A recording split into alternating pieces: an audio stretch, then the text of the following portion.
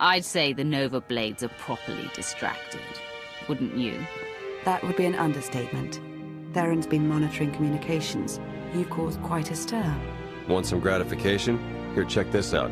Just recorded.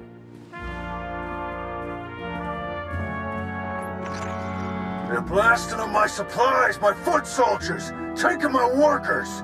What are you people prepared to do about it? This appears to be your problem, not ours. How would you like it if I made it your personal problem? Give me Revan. I want to talk to Revan. No, I don't think so. You don't put Revan on. The Nova Blade stop rerouting galactic traffic. That ain't negotiable.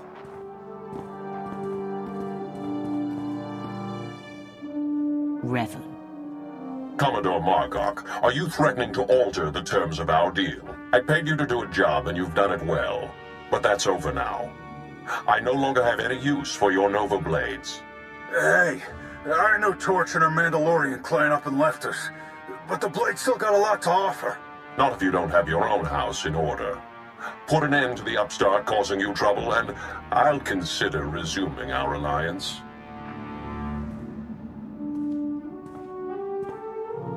You really did it. You got them running scared. Margok mentioned Mandalorians. Do you know anything about that? I heard the name Torch before, but not much else. I'm looking into it.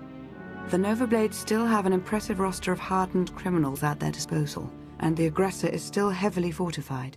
The aggressor's their headquarters. You've seen it. A crashed ship Margok turned into a fortress. Can't get in without the proper security codes. That won't be a problem for me. We'll get Jakarro to lend a hand all the same. If nothing else, the activity will keep him from picking apart D4 any further.